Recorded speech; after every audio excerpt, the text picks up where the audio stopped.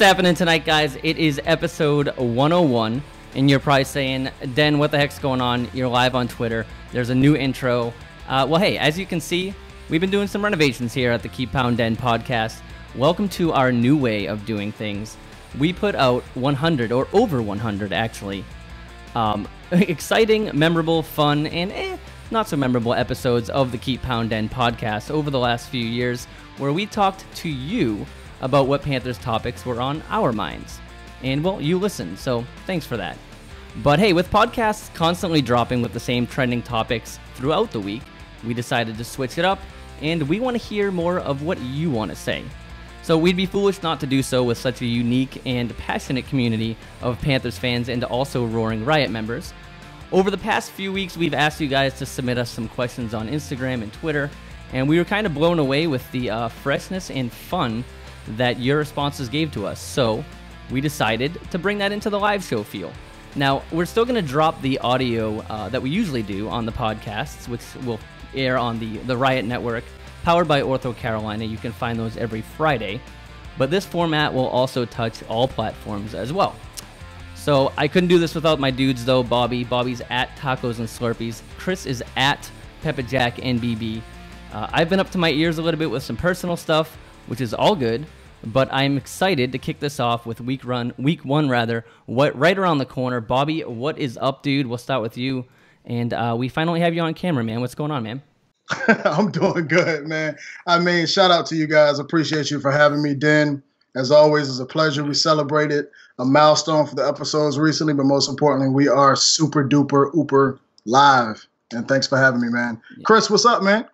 Living the dream. Just uh having a nice Carolina evening tonight, and uh, excited to be on and ready to talk some football. But hey, again, we, we, we want to bring you guys onto this. Um, we, we basically want to do this each week. Go live, see what we get for some comments. Again, we're going to bring in the Instagram comments that we have each week. Let me show you a, a little example here. Bobby, actually, I'm going to use your awesome uh, comment that you gave me to the Instagram. I can throw it right up onto the screen there. Um, you guys might not Sweet. be able to see it, Bobby and Chris, but there you can see, Bobby, you wanted to know why the starters are playing into the third tomorrow. So we're going to do that. We're going to bring in not only Instagram comments, Twitter comments, whatever you want. Again, we're going to let you dictate this show because for over two years, we've uh, we've done it for you. So uh, what's happening, Panthers community, and uh, and welcome back, Chris and Bobby. It's been uh, I feel like it's been a while. Has it only been a week? It's only been a week. Has it even been a full week? Did we do?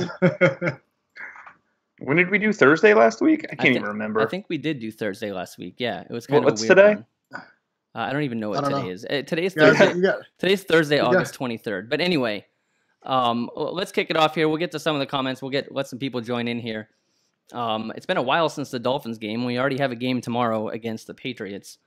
Uh, big one for me, and of course, I have a wedding rehearsal to go to, so that's always fun in the preseason. But uh, I'll be keeping Ouch. up with uh, with with the mobile device here. Um, you know, I don't want to get too much into the re- reviewing the Dolphins game. I feel like that's kind of been beaten beaten to the ground. But obviously, a few few of the big things, you know, Christian McCaffrey, of course, becoming kind of that second year guy we want him to be. I think we're finally going to see that this year.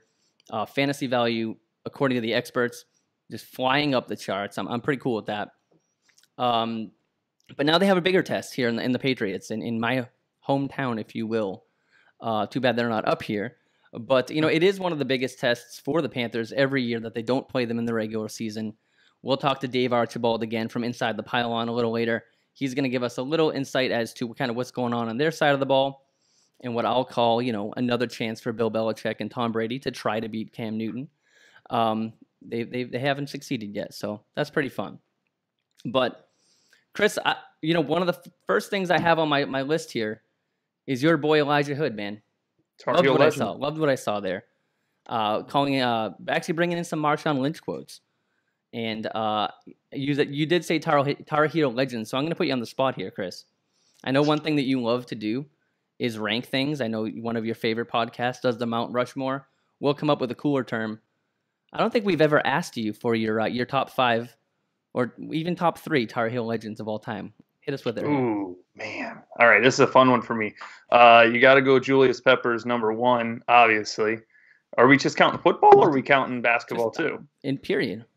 Oh man! All right. Well, Ouch. you know, Michael Jordan, number one. Then that's an that's an easy one. Um, then probably Julius.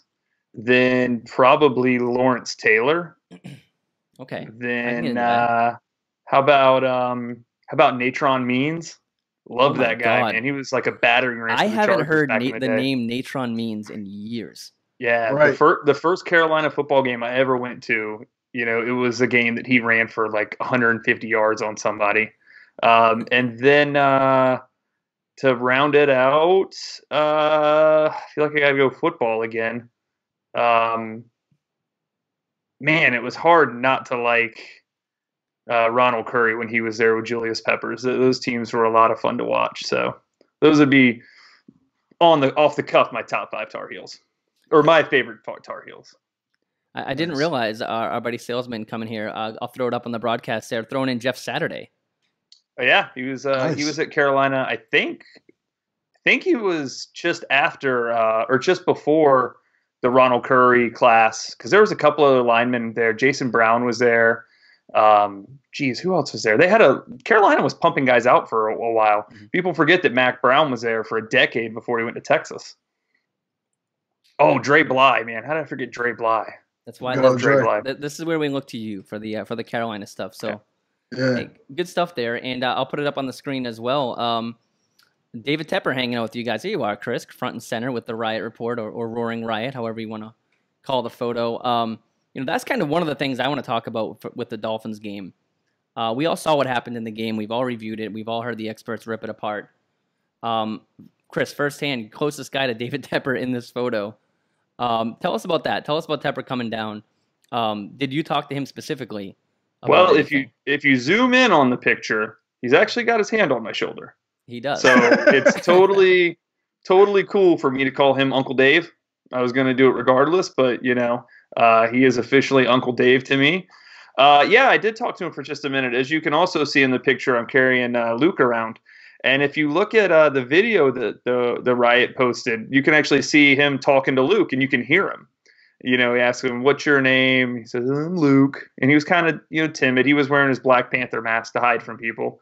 But um, and, and and Uncle Dave's like, "I know a Luke," and and my Luke was totally, you know, what? There's ones other than Luke Kuechly and Luke Skywalker. Not putting it together that that was who he was talking about. So, right. uh, super. He was super personable. He was super nice. He uh, he took every selfie. He signed a bunch of footballs. The guys there from uh, you know shout out sponsor Pro Image. He was selling every white paneled football he had because people were trying to get Uncle Dave to sign them. But uh, yeah, he couldn't have been nicer. Had a beer with us, showed that he is uh, you know genuinely a human and genuinely happy to be here. So I thought it was awesome. That's awesome. I, I did not expect that to uh, to see Dave Tepper down there. I, I, saw you know I saw it from Zach very early uh, him kind of walking the the famous train tracks of the Roaring Riot tailgate. Um, I don't know why. I just you know when you think NFL owners, you don't think they're just gonna grab a beer and hang out with the you know with the fans, and, and there he is in a picture yeah. with you guys.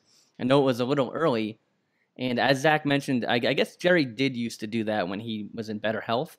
Yeah, he would ride his golf cart around Uptown, and uh, what you got to realize, you know, five six, you know, even as far back as ten years ago, Uptown wasn't anything like it is now and there were you know a lot more lots and it was just easier for him to get around. There was more critical mass of cars and whatnot. But not only did he used to just ride around the golf cart, he'd ride around and give people bojangles. And you know, I'm never mad at that. So, so. that was that was my shot. That was that would have been a good time for me to you know have it for the first time from the owner. Maybe maybe David Tepper can be the first person to serve me bojangles. I'll I'll ask him. We're yeah, now, tight you, now, so. you you got you're on a first name basis with uh, yeah. I'll text him.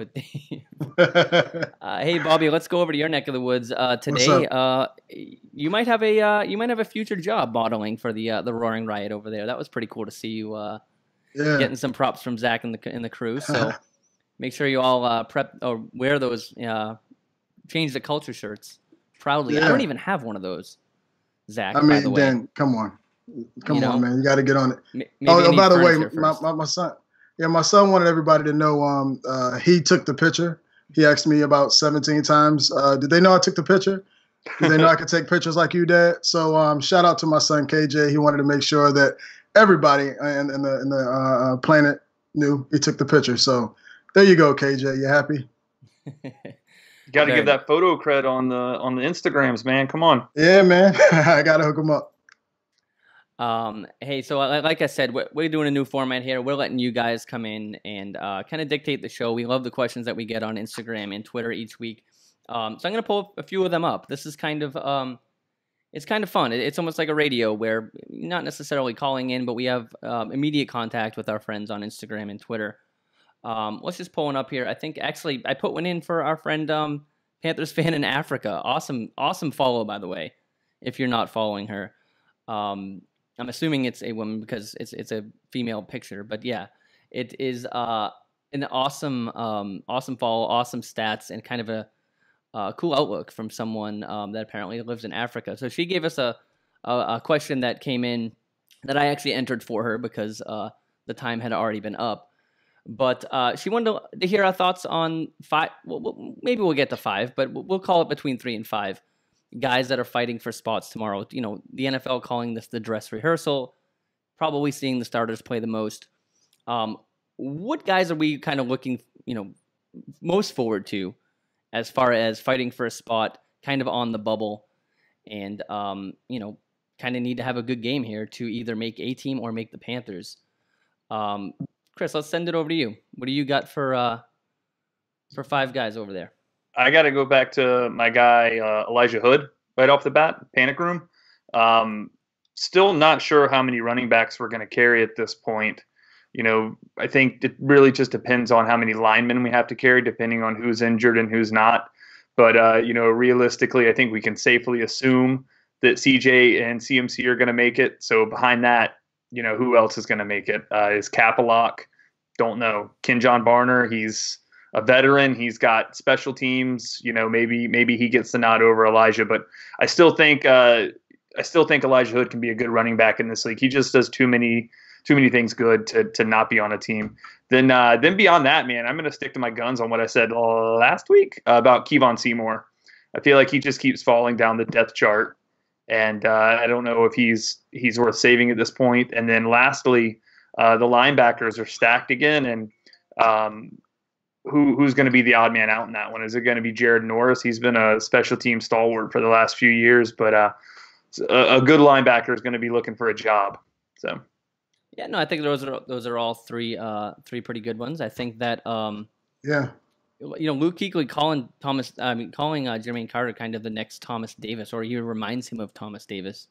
Um, yeah. I, I we'll get the TD in a little bit, but I think that you, uh, I think that you'll see Carter play a lot of this game. Also, my my man Corn Elder coming out with a top ten play of the week last week. How about that? Mm-hmm. How about that? He'll. Uh, I think that we can. Uh, I I think Corn has a pretty I don't know. I, I feel like he has a uh, a good, really good chance of making this team. I don't know if I'd I'd, I'd call him. Oh, he's a bubble at this point. Yeah, yeah, he's he's a lock. So, yeah. um, uh, Corn, I guess you know we'll have to put up another one. Um, you know, what one of the ones that I do kind of worry about is um, Marquis Haynes has, uh, in my mind, kind of underperformed. I don't know if he's how you looked at him kind of going into the season if he would be a lock anyway, but um, I want to see him do a little better. I know it's he's not really kind of an, uh, a four down or three down rusher. Um, see how they kind of use him. Uh, Elijah Hood was one of mine. Uh, we've talked about it a bunch. I think Elijah Hood actually provides more value to this team than Cameron Artis Payne. Yeah, I like so Cap. Um, I just think that it's up. It's kind of like the experiment's up. Uh, you know, um, I think that yeah. Elijah Hood brings a lot more power.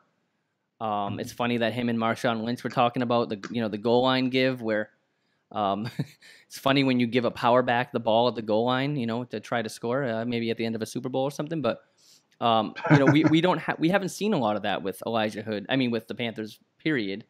Uh, Mike Tolbert flashes of it, but he was never really the Mike Just Tolbert. The, man, like the first and second year, and then he was useless in that role. Exactly. Yeah. So I, am cool with. Uh, I, am I'm, I'm looking forward to seeing some more Elijah Hood uh, put it in there, but. Um, Bobby, what, what what do you got for some players? I, I think we might have lost you on the video there. I don't know what's going on, but uh, I'm right here. Yeah, I got him. All right, cool. Got well, him. what's up with uh, what's up with uh, some guys fighting for spots tomorrow? Man, honestly, I'm gonna I'm gonna keep it to the secondary how I did before, man. And to be completely honest with you, my eyes are on Rashaan Rashaan Gaulden. The reason why is because he's getting his opportunity. Uh, Chris, I see your face, and I know why you may feel that feel wonder why I feel this way. Wait, are but you, you got to keep him on You think he's on the bubble? I think he's on the bubble. Believe it or not, I think he is. And the reason why I say that is because Ron Rivera is more of a veteran guy. Right, we've seen him go with the vets over the younger guys who can actually play. And Rashaan Gaulden, I love the kid, but the reason that they're not only starting him tomorrow, but they're letting him play through with the starters as well is because they're waiting to see what he has. Kind of what we saw with Seymour a few weeks back. Remember when he kept getting beat? They left him mm-hmm. in for the entire game because they wanted to see what he has. If a coach already knows what you have and they're already 100% sold on what you're doing, they're not going to leave you out there right? They're leaving him out there for a reason, just like they did with Kevon Seymour.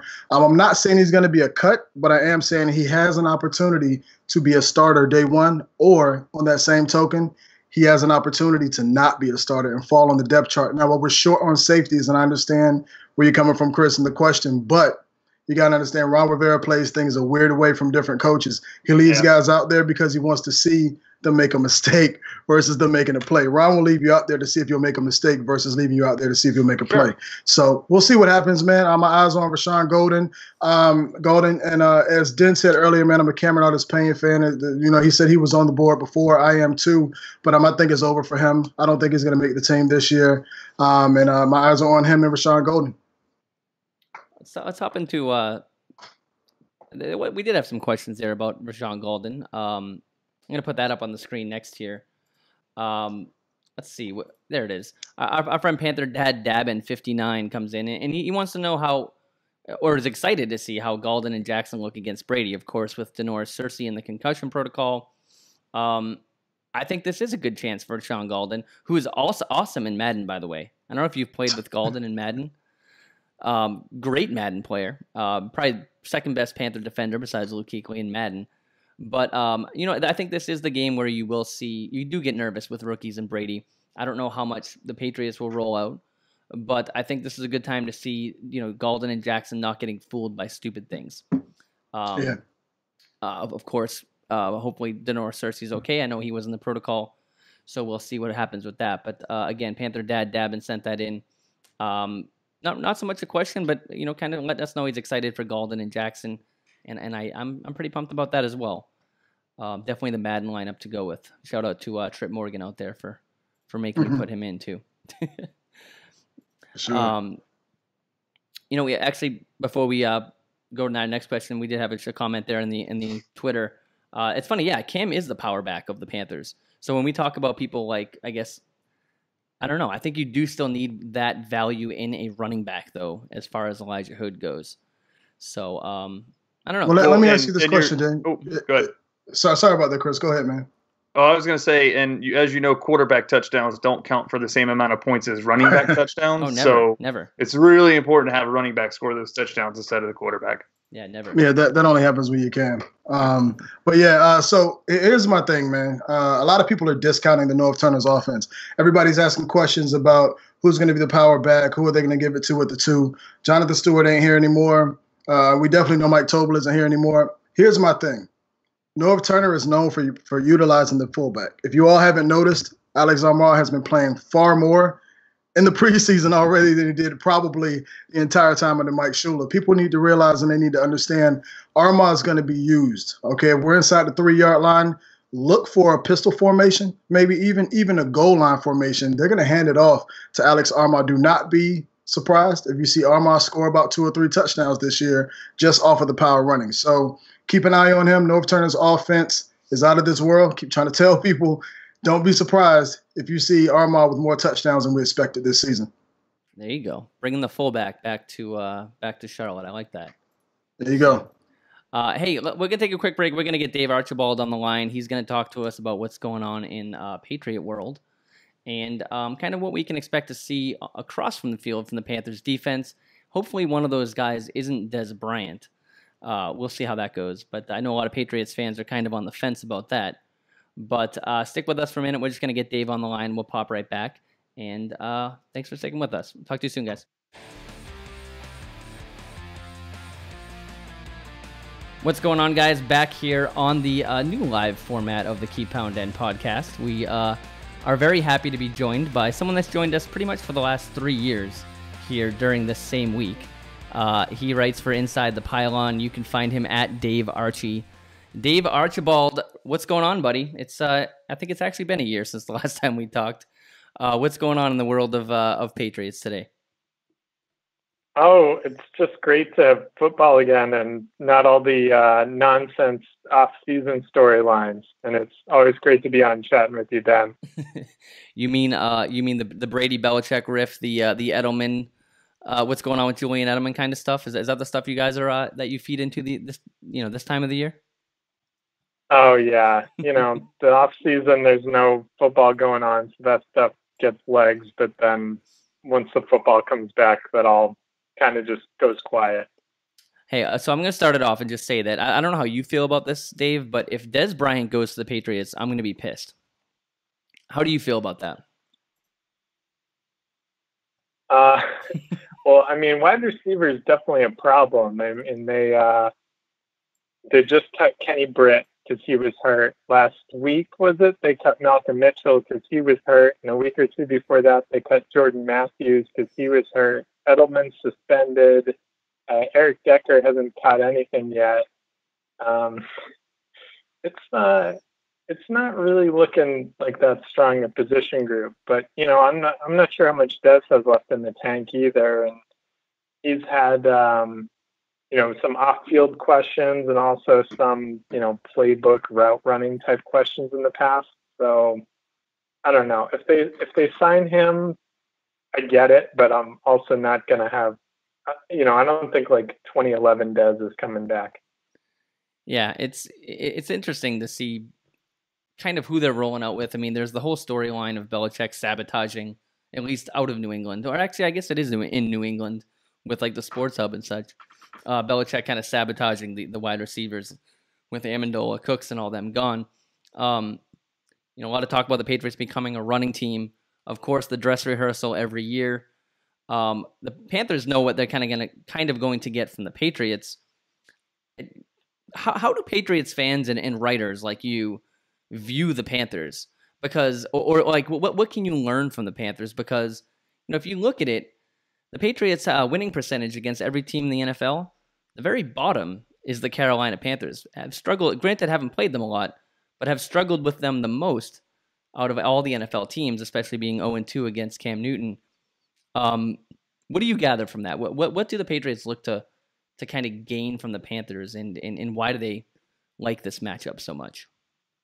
Well, I think it's it's very interesting from that standpoint. You know, they if you look at those last two contests, they've really struggled against Cam. I, I mean, the final scores didn't end up that high scoring, but the, the games didn't have a lot of drives. So both offenses, and especially the Panthers' offense, was extremely efficient.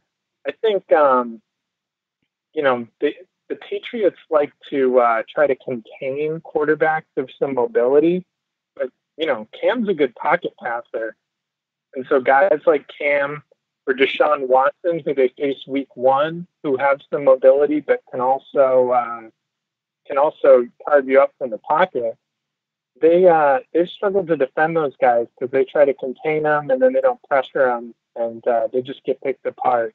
And it's going to be really interesting because uh, one of the stories of especially the uh, preseason week two game against the Eagles was the young defensive ends. They have three second year defensive ends who've all been playing well. Uh, Derek Rivers, who was their third round pick, uh, who missed the whole season last year, Deatrich Wise, a fourth round pick, and an undrafted guy, Keionta Davis. So, can they uh, continue to apply the kind of pressure that they against Philly? And are they going to have contained problems because they're young players? Um, so, that's definitely one of the things that I'm interested in watching. And of course, one of the biggest storylines of the, the Patriots preseason, uh, well, A, is Sony Michel not really touching the field too much. Uh, but more importantly, Isaiah Wynn um, going out for the season. You know, I talked about Isaiah Wynn in the draft when we were down there. I always considered if maybe the Panthers would look at him at that 24th uh, pick.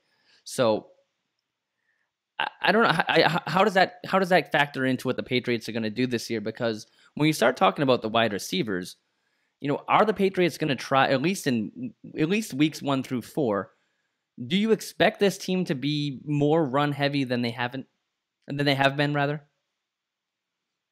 Well, it's hard to say because both, as you've mentioned, Sony Michel's been hurt, and also Rex Burkhead has been hurt. So if they want to go that route, it's not like the running back group is looking that strong. I, I think, um, you know, Wynn's injury, obviously it's not good, but um, I think that's a position where they could kind of, you don't want to say afford it, but they're basically running out the same unit they had last year. They return four out of five starting offensive linemen. They replaced uh, Nate Solder with uh, Trent Brown, who's looked great, and they even bring back their top uh, backups at both tackle and the interior. So I think Wynn would have been a piece that could have maybe taken that unit to the next level, but I don't think it's going to be a problem. Okay. Well, you know, I mean, th- things do seem a little different in New England. You know, especially with kind of the rifts going into the into the season. I feel like you don't see this much kind of. I, I don't know what you'd really call it. I, I know that the team doesn't. The team and Belichick, of course, don't get caught up in it, but there is something going on. You know, is there is there something that you can see this year, whether it's play calling or just really the way they're handling this off this off season and preseason that sticks out as the most different from any of the other kind of successful not that they're not going to be successful but like you know years before their super bowl runs and such. I mean they've, they've dealt with a lot of off season stuff in previous years. I mean there was that one year when uh he had trouble working out an extension with Vince Wilfork, and there was a report that he like ripped the name tag off his locker, and they ended up sorting that out. There was the year when Logan Mankins called Bob Kraft a liar to the press, and they worked and held out for like eight weeks, and they worked that out. There was the year when Aaron Hernandez murdered someone and got cut. allegedly, allegedly. So, I mean, I don't know. It hasn't been all uh, sunshine and rainbows, and they still managed to uh, to make it work. So you know, I don't know the extent. I don't know how much smoke there is. I don't know how much fire there is, but they're pretty good at dealing with distraction. Okay. Well, you know, I think one of the biggest stories I saw also, um, or, or really when you play the Patriots, the biggest story is always going to be Tom Brady, thorn in my side forever. Um, you know, turning 41 this year, a lot of people kind of showed, I think it was one of the many ESPN shows had showed that you know Brett Favre fell off when he hit that age. Um, anything worrying you about Brady this year? Any anything different? I mean, the whole offseason holding out a little bit. I learned today on the Sports Hub that he doesn't drink water with his meals or drink anything with his meals, which is weird because I do that too. So I can't beat Cam Newton, and I don't drink with my meals. So I'm basically on the TB12 diet.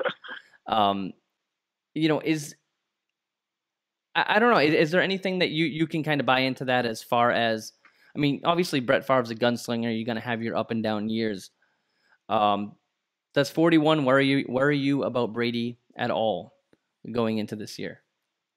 Yeah, I mean, I think I think you know what Brady, where Brady is, is kind of unprecedented, but his whole career is kind of unprecedented. I think, you know, as long as he stays healthy, I don't think we're going to see a lot of a drop off. But the problem is once you hit your your 40s, um, and you know those of us who aren't uh, superhuman are once we get into our 30s. I'm I'm 38. You know, you, you don't bounce back as easily as you used to. He had kind of a uh, a lingering. I think it was like a knee or an ankle issue last year. Um, for like four weeks and his numbers dip. You know, this is kind of the age where you you pull a hamstring and you're not good to go and you know five days later. So I think that's kind of the concern is, you know, is he gonna if he looks good, is he gonna look good for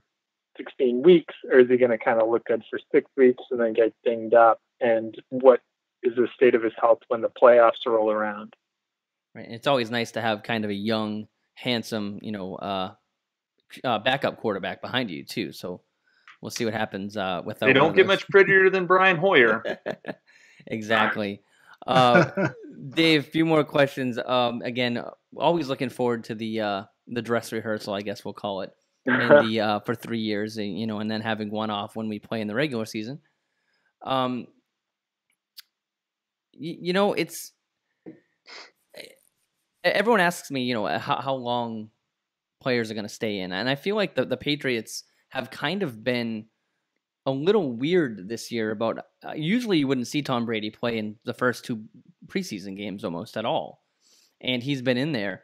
Um, what do you expect to, ha- to happen on Friday night as far as the Patriots go? What's kind of the main thing that they're looking for? We talked about kind of our battles, but what's one of the biggest battles that is happening in in uh, in New England that really needs this game to kind of decide? Like, where are you looking? I'm really interested in cornerback. Stephon Gilmore is. I think the last time you guys saw him, he was getting like lit up in that Panthers game. But after that, really after that game, he settled down and played terrific the rest of the season. Um, so he's solid at that number one spot. And I think beyond that, they have.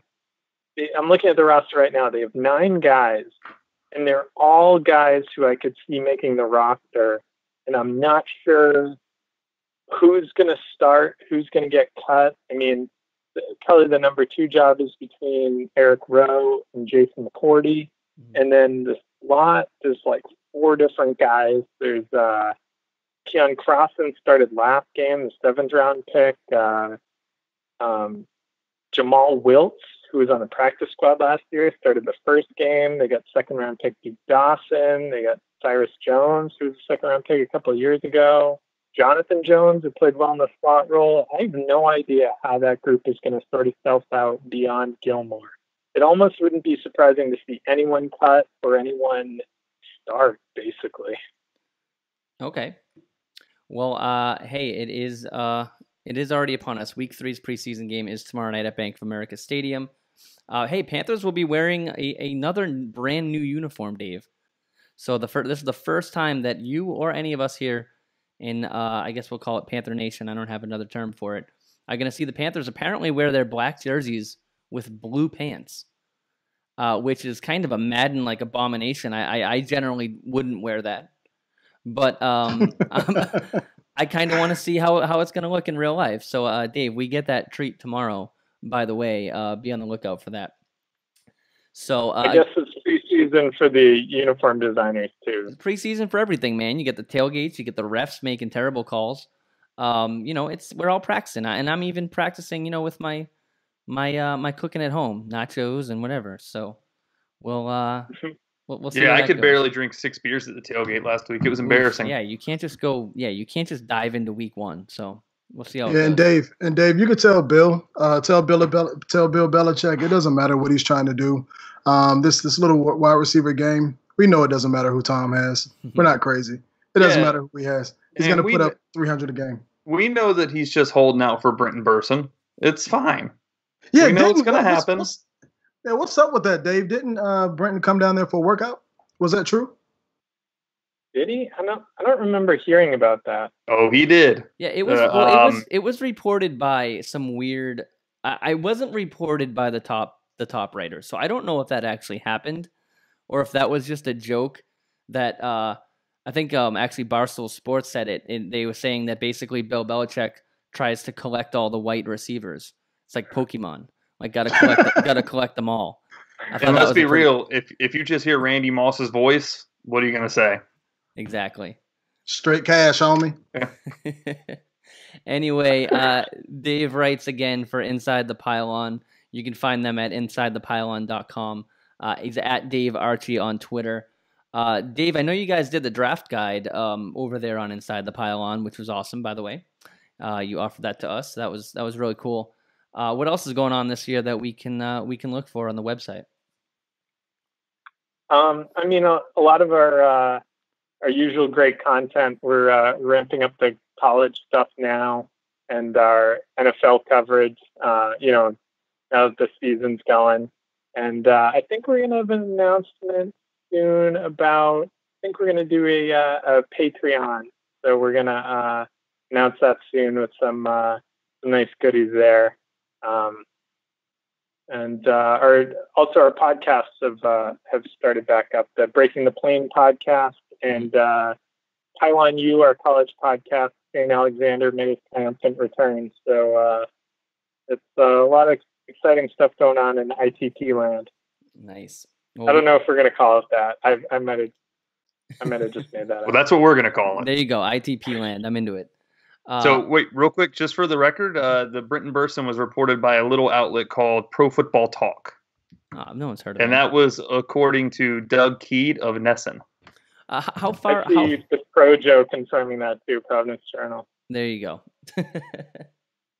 well, uh, hey Dave. Um, hopefully, hopefully this game goes well for both of us, and uh, we can kind of, kind of move on to Week One. I know you guys have the Texans Week One. By the way, I do want to say that I hate saying that. Uh, hate hearing that the Patriots have Cam Newton to to prepare for Deshaun Watson because based on the obvious fact, I mean, what do, do those quarterbacks have you know striking similarities to you? I don't really think that's a good comparison. no, I, no, I I don't think it's a good comparison for them as players. I mean, their body types are totally different, but I think in terms of how the Patriots uh, try to defend them, and in terms of the problems that they create for the Patriots when they try to defend them, I think it's similar in that respect. Yeah, I, I, definitely agree, Dave. I think it's more of a uh, what do we do when the play breaks down? Um, we both know Cam Newton is probably arguably one of the best in the game when the play breaks down and make a play with his legs. And it's similar to Deshaun Watson. When the play breaks down, he's going to make a play, scramble out to the side, maybe even complete the pass or get the first down. So it's, it's, it's similar in that aspect, but that's probably all I would give it. So I'm right there with you, Dave. I think the play breakdown thing is going to be the best I mean, yeah, comparison I, I, you can give it. And I think both those guys, that's what they really try to stop. And the problem is, both those guys, you know, if you contain them in the pocket, well, they can still throw.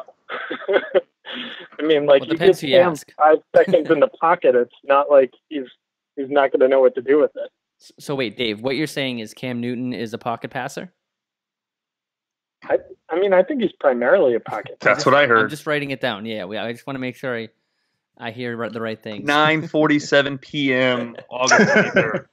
Dave Archibald. Anyway, Dave, uh, we're gonna let you go, but thanks for uh, thanks for hopping on as always. We talk to Dave every every preseason at right at this time, week three, and or if we are uh, playing in the regular season, which um, kind of went our way last time. But Dave, or, uh, or if the Patriots play in the Super Bowl, which I forget what happened last year. Actually, that's true. that's that true. I made the yeah. deal with you that we would have you on every time the Patriots made the Super Bowl, and you've basically like been the host of the show. So, um, but it's always good talking to you, Dave. We'll uh, we'll check out what's going on inside the pylon again at Dave Archie. Uh, and thanks for uh, thanks for joining in tonight. We'll talk to you later, man. Huh? Thanks, guys. Great, a lot later, of fun. Great talking to you, Dave. Later, dude. So let's uh let's hop into some uh, some fun stuff. We talked to we talked to Dave there about um, I don't know, kind of kind of the, the, fun things that the Panthers are doing, right? With the uniforms, obviously there's the midfield logo. I brought it up to you guys. Uh, I'm gonna throw it up on the screen here, thanks to our our friend David McClelland over on Twitter. Um, Panthers Panthers. Uh, let me start over. Bank of America Stadium now has, in the latest update of Madden, the Panthers logo at midfield for the first time ever. I mean, I think this is just kind of a, a done deal at this point, right? Uh, that like we will be seeing this week one. Yeah, yeah, I think so, man. I mean, it's almost like it's it's like having having a girlfriend, a fiance, a wife, and they're already beautiful, and it's like then they do that little small thing with their hair, and it's like ah, it's like so perfect. Yeah. Now you're perfect. Yes, man. It's just, that's what's happening, man. Like the stadium is already one of the most beautiful stadiums. I don't care what anybody say. One of the most beautiful stadiums in the league, and then you throw something that we've been waiting for like for a long, long time. And on top of it, the Tepper era is insane. I mean, the the, the jerseys, the pant combination, the I mean the the logo, water the slides, beef there jerky, it's all happening. Wait till there they put a go. lazy river around the stadium, and then it's then we're there. Doesn't one go. of the stadiums have that?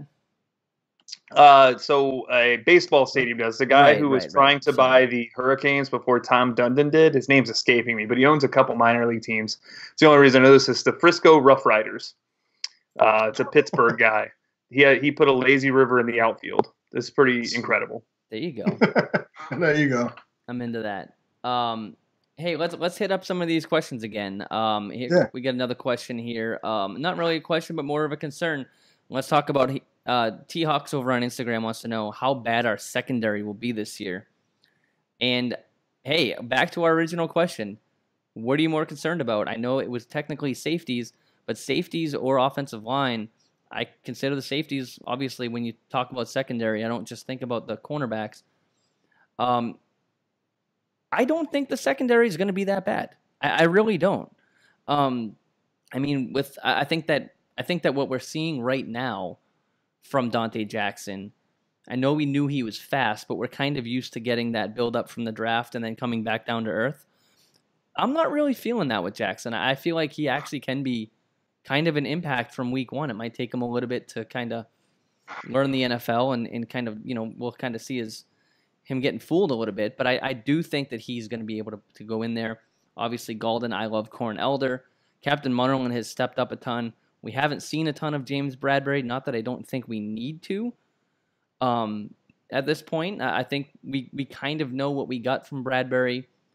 Um, so yeah, I don't know. I, I, well, I'll switch it over to you guys, Chris. Um, how do you feel about this comment? Uh, how bad will it be? I don't know. I don't know that it'll be any worse than it was last year. You know, you remember Kurt Coleman was out for most of the season. Um, I don't think that there's a ton of concern around Mike Adams. You know, the same thing we were just talking about Tom Brady. When's when's age going to catch up?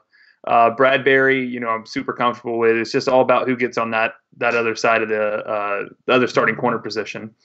Um, but for me, I and this is going to sound terrible, but running with the starting lineup with Moton at left and Sirles at right, I feel more comfortable with that than I did with Brian or uh, Matt Kalil and um, Moton at right tackle.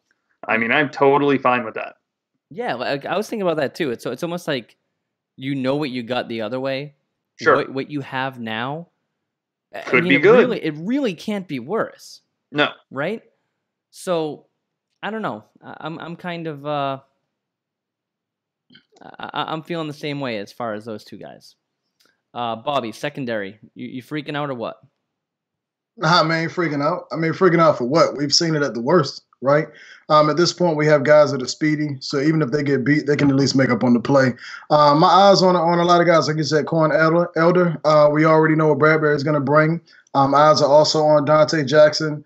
Um, I think one of the most important things I've seen from the secondary this offseason was Captain Munnerlyn coming out saying that he would not be complaining about uh, playing time and he's going to know his role. He's going to play his role. That's going to be big for the growth of these young cornerbacks and these young safeties because it's very important for them to see a leader on the field, on and off the field as well. Um, I think you know, we're going to be fine. I don't think we're going to be as bad as we were last season. Um, you know, Josh Norman ain't walking through those doors, so people please stop comparing Donte Jackson to Josh Norman. They're two different people, two different players, two different styles. Just because they run their mouth doesn't make them the same. Um, Donte Jackson is going to fit this defense very well. He's going to have some hard spots now. He's going to play against some quarterbacks that are going to know where to take advantage of him. He's going to be it's going to be a learning phase, but we are going to be okay. I feel great about the moves this team made this offseason. We'll be fine. Yeah, man. Um, you know, a few other things today. I don't know if you guys saw the Charles Johnson uh, retirement ceremony over at Bank of America Stadium. Uh, shared some pretty cool stories about how, especially how he had $18 million on the table uh, to, to join the Tampa Bay Bucks and just couldn't do it.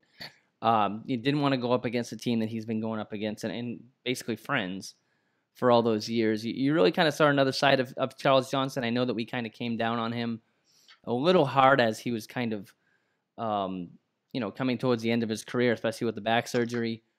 Um, but you know, taking that that hometown deal was was I felt it kind of went under the radar. I mean, everyone was like, "Oh yeah, he should do that," but when he starts talking about what he had on the table, um, really kind of poured his heart out to the uh, to the Panthers community today. And uh, there's a cool video for that over on the Riot Report uh, dot com, by the way. So, uh, do you guys get to check that out today? Yep. Uh, until the sound went out. Yeah, I don't know what happened with that. Uh, hoping our sound's still working, so we'll see. Yeah, they need to get you down there, Dan. hey, I, yeah, I'm, I saw it. I'm here. Uh, let's pull in some more. Uh, let's pull in some more uh, comments here. You know, do you guys think that we'll get a new stadium or just the remodel comes in from uh, Puma uh, 1014 on on uh, Twitter? Um, I, I don't know. I think Bank of America Stadium's pretty safe as far as a new stadium. Chris, you you're probably the best person to throw this out to being in that area more more often. Um, what do you think? I, I think I've made my my feelings on it pretty clear. Like I think building a new stadium is just a massive waste of money. Our stadium is in excellent condition because it doesn't host a ton of other events. It hosts 10 football games a year, you know, a few uh, soccer matches and every 15 years a concert. So the stadium just doesn't have the wear and tear. Does the stadium need some upgrades? Absolutely. I don't think anybody's going to argue that. There were some really great upgrades done a few years ago when they brought in the escalators. They put in the drink stations that really expedited the uh, the snack bars and whatnot. So I think that people have this in their mind that Charlotte will 100% get a Super Bowl or a Final Four, which I, I think the Final Four is not out of the realm of possibility if they get a, a domed stadium. But no, I just I don't see the need for it. I mean, yes, the stadium is 23 years old, and yes, it, it's not as fancy and shiny as some other stadiums. But the Panthers sold what did we sell for? 2.75 billion. Over a billion of that was tied up in the land and the stadium itself. You know, in in terms of value. So uh, Uncle Dave is a fairly smart man to be as rich as he is. I think he's smart enough to know that you don't just destroy half of what that investment was to spend another you know let's be realistic you're talking another two three billion dollars at this point to build a stadium. Um, now what i do think will happen is they will build a facility somewhere outside of town probably down there. Uh, shout out to tika k what's up? Um, somewhere in that area maybe around carowinds and i think that they turn the practice fields into uh, some sort of you know panther land if you will. Like that becomes maybe parking, maybe tailgating, uh, something. I think that that's more than likely what you'll see versus seeing a new stadium. Yeah, kind of like Patriot Place over here in uh, in New England. Well, so well, I think something like that outside of city limits. I'm saying mm-hmm. where the practice okay. fields are now, you yep. still build something, whether that's a parking deck, whether that's a massive tailgate facility, because that's something else the Panthers could capitalize on. Uh, I say this every chance I get. The coolest, well, I shouldn't say the coolest, but I thought the yeah, I'll say it, the coolest. When we went to the Niners game last year, week one in uh, Santa Clara, the Niners sell tailgate passes for Six Flags right there. So you actually go into Six Flags, all you can eat, all you can drink, and there's a roller coaster. We're not getting a roller coaster, maybe a lazy river. I'm holding out for that. But if, if, if you had something like that, a Panther sponsored tailgate, that's another revenue stream for them. And I think that that's one thing they've been consistent with. You have to create more revenue streams. Okay. Yeah. I'm I'm with that. Um, yeah. what else we got here? Uh, we, we, can touch upon it real quick, but obviously DJ Moore, uh, got a little trouble over the week. Uh, it's been talked about, but going 113 miles per hour. Uh, the funny thing is, is I texted these guys. Um, I I texted these guys, and I meant to say DJ, but I sent I didn't say anything. It just said blank just got pulled over going 113 miles an hour, and you guys thought I did. Uh, kind of like Bobby tonight and his his snap. Oh yeah, we wouldn't even get into that. but you guys thought that I got pulled over going 113 miles an hour, which is hilarious. And then I had to backtrack and be like, no, no, no, DJ, DJ. So, yeah, I thought um, we were getting your one text from jail. one call and it's the uh, it's it's the, the podcast for an hour. Right. That'd be someone who's not within ten hours of driving to get you out of jail. Smart. I, I'd yeah, call I you think guys. I think people I think people made um, just just from what I saw with the reports. Um, I personally believe people weren't uh, serious enough for the situation. Um, I think it kind of flew under because it's the off season, things of that nature. But that's a very serious situation. Like we're yeah. talking 113 miles per hour. It's not. I mean, we laugh about it because DJ's fast. He was driving fast. Yeah, um, I even it's saw. An easy joke. It's an easy joke. Yeah, yeah, I even saw one of my Falcons uh, buddies uh, say uh, he was he was going that fast because Cam overthrew the ball and he had to oh, catch it. Like I, I, I, saw I saw all types of jokes. Did that right? guy rise but, up too. Yeah, right, right. I mean, it was it was just it was just to the point where it's like you know he needs to see the story of Bobby Fields. Um, I saw somebody. Yeah, exactly what I was uh, going to say. That's yeah. what he needs. Somebody needs to sit his ass down and be like, "Look, I know that you're bulletproof. You know that you're bulletproof, but this shit is real." Yeah, it's real. It's very real. I mean, you can't can't play with your life and other people's lives like that. Um, I, like to make jokes, but also want people to know, man. Um, you know, older people know this. Young guys, young girls, if you're listening, that ain't cool. Slow your butts down. Um, and and I hope you know Ron Rivera pulled him to the side. Also, hope you have somebody in his personal life pull him to the side and say, listen, don't let this happen again. He needs to, you know, I know it's going to probably be a slap on the wrist for him, but I hope he understands how serious this is. True, I, I agree with that. Hey, hey, Bobby, I just realized you we had your question uh, that yeah. you that you sent us nicely as an example. Uh, as uh, as far as why are the starters playing into the third, but we never got you a never let you speak your mind on that. Are you you're not you're not into that for this game because doesn't that usually happen kind of week three, especially yeah. Patriots game? You, yeah, you, I mean, you don't need to see any more of this. I don't need to see it. I mean, because I'm with you. Here's a, here's the thing that really rubbed me the wrong way. I mean, honestly, I got kind of pissed off with it. Um, you guys haven't heard me talk about Ron Rivera in a bad way in a long time, but I'm going to come back to this. The fact that he says he wants to see how we make halftime adjustments. Like Ron, the halftime adjustment issue ain't with the players; it's with you, my friend. Yeah, let's see. You so yeah. So so we we need to focus on halftime adjustments with the coaches. It does not matter which players are in the game if the coaches aren't making the right adjustments. Now, if you feel, if you really believe that an eight-year veteran in Cam Newton and these guys that are behind him on this on this offense need to play into the third quarter of a preseason game and get broken ribs. Right. I mean, not like that hadn't to, happened before.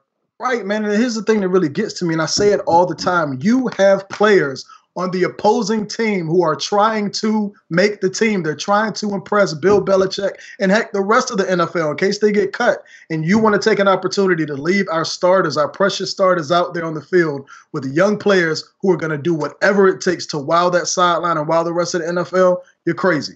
There's no reason. I get maybe playing into the second, but the third, that's that's ridiculous, man. Nobody can sell me on the third quarter. I, I like what Sean McVay's done in LA, and I don't know if you guys have seen this, but he ran his starters pretty much the whole first half, week two of preseason, and he's going to sit every one of them down weeks three and four because he knows what he has. You know, um, that's a pretty established team outside of Jared Goff. And I mean, he had a great year last year, and I think that a lot of people consider him a future MVP candidate. But there's no, there's nothing to gain by throwing those guys out there. I mean, what, like you said, you got an eight-year veteran at quarterback he he should has his, have his timing down by now. After three weeks of training camp, a week of practice, you know, yeah. he's got had consistent. I don't think any receivers have missed any time since uh, Curtis Samuel missed it at the beginning of camp. Right. You know, uh, C.J. Anderson, maybe you could make an excuse for that, but as porous as the offensive line has been, I don't see any reason to uh, to put those guys out there and put them in harm's way. I agree. Yeah, I agree, and a lot of people, a lot of people may bring up. Sorry, Dan. Uh, a lot of people may bring up Norv Turner's offense, but uh, listen, man, if those guys ain't got it by now, a preseason game ain't gonna change yeah. that. Yep. Yeah, and I think that you know, like you mentioned that, that McVay there. I, I think that for every team, you, you, do have a different kind of scenario. I mean, so, some players aren't fighting as much on certain teams, so I don't know. I think the Panthers are kind of they they do need to see three quarters from certain players um, yeah, but don't need but Cam Newton, Cam Christian Newton. McCaffrey, right. uh, Devin Funchess, Greg Olsen, Thomas Davis, yep. Luke Kuechly. Mm-hmm. Put Rashaan Gaulden out there for all four. I'm all for it. I said this two weeks ago. I thought it was better to start him from the get go over Tar Heel legend Da'Norris Searcy. Um, Who did you know the, the top five, by the way? Trial trial by fire. Yeah, it's funny. I don't even remember him being there, to be honest with you. Uh, but uh, you know, put those guys out there. Put the young guys out there. I want to see Jermaine Carter for four quarters of a game. Yes. I want yes. to see Daeshon Hall, who I should have mentioned in Bubble Watch. Yeah, he uh, was one of them. I, I kind of I kind of group him with with Haynes. They're kind of yeah, of one of both of those guys aren't making the roster. Yeah, um, kind of a bummer. You know, I want to see those dudes out there. Uh, what's the other guy? Young, the tall guy, the guy that's like six five, six six, the defensive end. Um, yeah, I don't know. They all run together, but uh, yeah, man, put those guys out there. Run, run, run them into the damn ground. And then, you know, week four, you know, if you still need tape on some of these guys, put them out there. But there's about 15 guys I can think of off the top of my head that have no business putting shoulder pads on tomorrow. Yeah, I, definitely agree, man. Um, I, I, can't, for the life of me, I cannot wrap my mind around Ron Rivera's logic. Um, maybe he has his eye on something that we don't know about yet. Normally, I try to, you know, play play that part and say, "What well, guys, you know, there's something out there that we don't know yet. We can't see. Maybe we'll figure it out later." But right now, man, it just doesn't make sense, man. We're talking preseason. We're not talking about you know a lot for the playoffs in week 15, and they're trying to play guys in week 16. They want to see what certain guys can do, and they're leaving them out there versus sitting them. This just doesn't make sense to me, man. Like yeah. it just doesn't make sense. And I, I am I'm gonna be completely honest with you. I'm terrified of an injury happening tomorrow night to one of our key guys. Um, and I'm terrified for Christian McCaffrey because they're testing him running in between and kept running in between the tackles. And I just hope to God that if they run him in between the tackles, he's just going right. Just don't go left, go right. But um, I know I know Matt Kalil probably isn't playing, but still, just go right, man. Um, I just can't afford for anything crazy to happen. Um, I don't know. I, I don't like this. I don't like it. Yeah, of course. Um, what it's looking like. Well, just going through the line, we haven't really talked about that. Uh, we have a few minutes left, but it looks like it will be Moton Sirles uh, at the tackles, Van Roten at, at, left guard, Turner at right guard, and Ryan Kalil at center.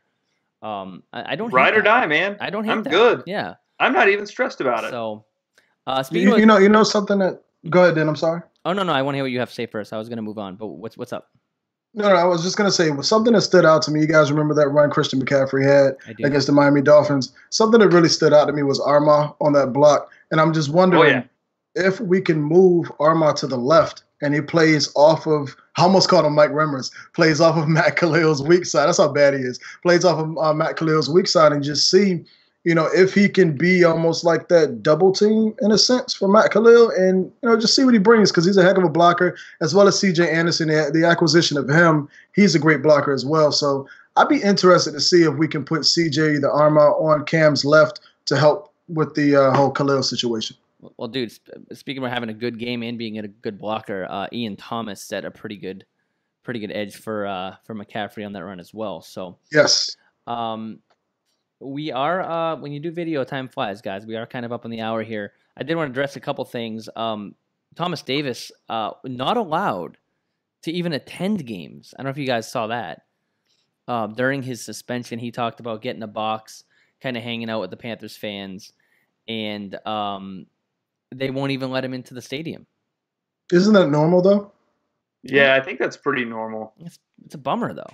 Yeah, you are not supposed to be in team facilities, and I know but as well. If, I consider myself part of the team, but if you're in the stadium, you know, you're you're on you're on ground. So I guess so. The thing is, you just got to be smart about it. You don't put it out there in the news. You pull the old Bobby Valentine. You get you a fake mustache. Say, you get, yeah, some, get glasses, some glasses. Yeah. You put on a hat. Nobody's gonna recognize him. Come on, TD. You're better than that. Yeah. He's smart. Yeah, man. Um, finally, I was kind of digging through some articles, and I found a uh, a funny quote here. I'll throw it up on the screen um, from our buddy Kean Fahey, who we, who we mentioned last week on the uh, episode 100. Uh, this from March 9th, 2017. Uh, Kean Fahey says Matt Kalil was the worst starter on arguably the worst offensive line in the league two years ago. And then he got hurt. and here he is, kind of uh, back on the Panthers here, um, dealing with it with a knee injury. And I, I don't know if this is so apparent. I mean, you see the Vikings it's kind of unla- I don't. I don't really. I, I, was trying to look at what that cost them. Did that cost them any money? Letting Kalil what? go, Matt Kalil. No, he was unrestricted. Completely unrestricted. Okay. Yeah. Because you know we're talking about them. They pick they pick up George Iloka this week, um, and for free. Basically, veteran minimum. Yeah. And you know, it's easy when you unload a fifty-five million dollar Matt Kalil. Granted, they probably weren't paying him that much, but yeah, he was only. I think. I mean, only still, his rookie deal was you know twenty-one I mean. million guaranteed. Yeah, yeah. So, uh, but but as far as um, freeing up that money, you know. It is kind of, you know, this league. I, I have kind of complained that the rich get richer, and it is tough to compete sometimes. You know, Dez Bryant or someone will take a vet deal with the Patriots, but won't sign for the Browns. You know, X million dollars. So, it's kind of tough to get better in that sense. So I, I do kind of, I don't know. I, I, get it as far as the player standpoint. I always wondered if the league would get involved with like having to pay, I don't know, more money if you're if, if you're in it's, that situation. But it's it's uh, eleven on eleven, man. Who knows? It's not yeah. like the NBA where you you got all these guys that are going to the Warriors to play for free just to get a ring. You know. yeah, I um, mean, yeah, I agree. But Dez Bryant's not the difference between the Patriots winning a Super Bowl and not winning a Super Bowl. No, no. But in they, fact, I would argue that he would not help. Um, I, I, I can't think of a situation where Dez Bryant. I mean, you could say the same thing about like Reggie Wayne, and obviously Kenny Britt just got cut. Torry Holt. But, but none of those guys think, ever made it out of camp. Yeah, but I feel like those guys were later in their career and not the freak that Dez Bryant is. I mean, if you get a like dude, a, I would I would take Torry Holt at his prime over Dez Bryant in his prime. I would take Reggie Wayne in his prime over Dez Bryant in his prime. True. Well, see, here's here's the thing about those players, players too. I mean, Dez Bryant. Yeah, you're right. Like They're better players than Dez Bryant. Tar- type target. Yeah. Just a well, I mean, the, the, the, there's a huge difference because of attitude. Uh, Dez Bryant brings an attitude that neither one of those guys had. Um, sometimes it's good, sometimes it's bad. Uh, but we all know Dez Bryant is not the Dez Bryant of old at this point. I am not surprised to not see him on the roster anymore. At first, I was, um, but after I saw some of his tweets, um, some of his feelings towards things. It's not a surprise why he's not on the roster. Um, when you go back to the Torry Holt situation, uh, Dan, I got to disagree with you, man. I definitely agree with Chris. I would definitely take Torry in his prime and Reggie Wayne in their prime over Dez. The reason being is because of their attitudes, because they were always willing to lead by example. And if they had to follow, they would follow. Dez Bryant is not that guy. He may become that guy in the near future because he'll have no choice. Um, similar to the Allen Iverson situation, uh, where he felt like he was too good to come off the bench. He didn't want to play behind anybody. Um, similar to the Carmelo Anthony situation we saw last year. I know it's a different sport, but same attitude. Um, but when you have that type of attitude, I would definitely take guys like Torry Holt, Reggie Wayne, guys who were humble at, at their peak, than I would somebody like Dez Bryant, just because of his attitude. He's, he was a freak of nature in his prime, but you know your attitude kind of speaks a little bit louder than your than your on field play to me. Yeah, and man, think about think about with Torry and Reggie. They were they were the number two for the bulk of their career. You know, Reggie was behind that guy who killed a guy at a car wash, and then uh, Torry was number two behind Isaac Bruce. Hmm. And and that you know those guys had no problem with it. it. You know, they are do your job university guys from the get go, you know, and that's just not Dez. But then again, we said the same thing about Randy Moss, but he only lasted one year. So Oh, hey, there you go. But uh, hey, Chris, before we before we take off, I, I, I can't believe I haven't pointed out your shirt. Oh, you like that? It's pretty. What's going on here? Pretty sweet. Uh, yeah, it's a little custom job I had done. Um, not for sale. That'd be illegal. Um, but they are pretty flashy and uh, pretty fancy. And I know you guys are all jelly, so I'm at least jelly. I, I might I might come back with the shirt of you wearing the shirt. You know that whole deal. And then we'll go oh, into yeah. like the Macaulay Culkin thing that. What, and then we can talk about uh, Peter Schrager never coming on the podcast. That's right. So, I'm gonna keep making. I'm gonna keep making uh, a shirt until you know of a shirt until he comes. So it's it'll basically like be like the Browns quarterback charts, but it'll be all pictures of pictures. It's uh. Did you ever see What's Up with That? The skit on Saturday Night Live. Uh, yes incredible skit. And it, like Peter Schrager's our Lindsey Buckingham. You know, we just don't have time for him. He's here, he's yeah. ready, he's on hold, but we yeah. just we got no time for him. We'll we'll bring him in on a mic soon. But uh, again, hey, we're, we're a little over the, the limit here, guys. Thanks for hopping on our first ever um, kind of new format here. Again, what we're bringing in with yeah. what what we we called it "What's Up This Week" on Instagram. We're kind of still formulating a name, of course. Uh, you know, still ironing out a few kinks, but this was kind of our first shot at it. We're gonna do this um, kind of whenever we want. That's that's the best part about it. We'll still put out the podcasts on Friday. Uh, you're gonna be seeing a lot more live stuff from us, a lot more, um, a lot more guests coming on remotely. Again, we yeah. do this completely remotely. Remotely, I would love to sit in the same room as these guys every week, but uh, unfortunately, just doesn't doesn't allow for that sometimes. But uh, we will be on the road as well um, this year doing a bunch of these too. So yeah, we got a really exciting show coming from the uh, food court at Hartsfield International Airport in a couple weeks. That's so right. That's right. You guys get get ready for Pen- that. Pending any interferences from uh, from people behind us. So no Chick Fil A, you know, because it's a Sunday. Because a uh, quick story, me and Chris tried to do an awesome recap of the draft live, and well, the problem is they serve beer at the draft. Lots so, of beer. So we we did like eight takes where like people just kept jumping in and yelling stupid things. So no, it wasn't people. It was four Cardinal fans. Yeah, yeah. and so we just said, "Screw it, we're rolling this out." Um, oh, they only want to talk about my mustache. I mean, for, well, I can't blame them. I mean, it was pretty good. It was. I wasn't yeah. gonna lie, it's pretty good. But yeah. Um. Hey, we are uh, again up in the hour. So uh, check us out. Uh, each week on the Riot Network on Fridays uh, at Keep Pound Den, at Tacos and Slurpees, at uh, Jack NBB. Uh, we'll be throwing these out there. Um, and anytime kind of Panthers, big Panthers news breaks will be coming on. We want you guys to come on with us. Thanks for you guys that uh, sent in the questions this week. And um, we'll start even formulating a whole bunch of them beforehand, too. Again, we do pull them in from both Instagram at Keep Pound Den and on Twitter here. Uh, and then these videos will be uh, going to all the social networks. So we'll be out on YouTube, Facebook, Twitter, um, and Instagram um, all throughout the week. So we're gonna. And I'm still off. lobbying hard for MySpace, guys. We'll bring it back. MySpace. Nobody and, else is on it. We might as well do it. MySpace and traction. Friendster. Yeah, they, MySpace and Friendster haven't gotten back to us. And if Napster wants to pick up the pod, uh, just let us know. So there you go. Uh, we're gonna call it quits this week. Uh, again, guys, thanks for uh, hanging with us, and uh, we'll talk to you next week. Keep pounding, guys. Keep pounding. Cheers.